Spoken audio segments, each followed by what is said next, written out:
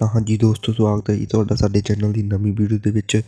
ਤਾਂ ਜੋ ਬਲਾਚੌਰ ਸਟੇਜ ਦੇ ਉੱਤੇ ਜੋ ਵੀ ਕੁਝ ਹੋਇਆ, ਉਸ ਬਾਰੇ ਗੁਰਚਾਲ ਨੇ ਦੱਸਿਆ ਹੈ, ਆਪਣੀ ਸਟੋਰੀ ਸ਼ੇਅਰ ਕੀਤੀ ਹੈ। ਤੁਸੀਂ ਅੱਗੇ ਜੋ ਕਲਿੱਪਾਂ ਨੇ ਉਹ ਦੇਖ ਸਕਦੇ ਸਤਿ ਸ਼੍ਰੀ ਅਕਾਲ ਭਾਈ। ਤੇ ਬੜਾ ਜੋ ਹੋਇਆ, ਉਹ ਮਾੜਾ ਹੋਇਆ ਡਰਿੰਕ ਕੀਤੀ ਪ੍ਰੇਮ ਢਿੱਲੋਂ ਵੀ ਆਪਣਾ ਵੱਡਾ ਭਰਾ ਵਾ, ਆਪਣੇ ਦਿਲ 'ਚ ਉਹਦੇ ਲਈ ਕੁਝ ਵੀ ਨਹੀਂ ਹੈਗਾ। ਤੇ ਨਾ ਕਦੇ ਰੱਖਾਂਗੇ। ਸੌਰੀ ਫੀਲ ਕਰਦਾ ਮੈਂ ਵੀ ਸਾਰਿਆਂ ਨੂੰ। ਮੇਰਾ ਭਰਾ, ਸਾਰੇ ਭਰਾਵਾਂ ਨੂੰ ਸੌਰੀ ਫੀਲ ਕਰਦਾ ਹਾਂ। ਤਾਂ ਤੁਹਾਡਾ ਕੀ ਕਹਿਣਾ ਇਸ ਬਾਰੇ? ਆਪਣੇ ਵਿਚਾਰ ਕਮੈਂਟਾਂ 'ਚ ਜ਼ਰੂਰ ਦੱਸਿਓ ਤੇ ਹੋਰ ਅਪਡੇਟਸ ਦੇ ਲਈ ਆਪਣਾ ਚੈਨਲ ਜ਼ਰੂਰ ਸਬਸਕ੍ਰਾਈਬ ਕਰੋ। ਧੰਨਵਾਦ।